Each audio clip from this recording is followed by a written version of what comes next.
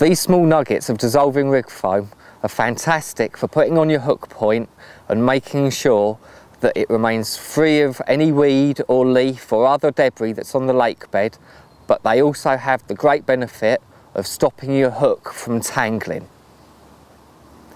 The easiest way to put these onto the hook to make sure that your rigs don't tangle and that the hair doesn't wrap around the hook is to simply embed the hook point into the middle of the foam and wrap the foam around the back, licking the foam so that it slightly melts and stays in place for the cast.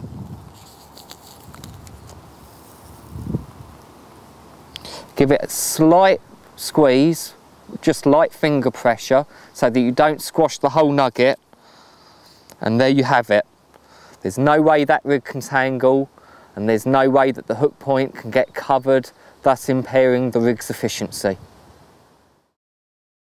Make your cast as needed.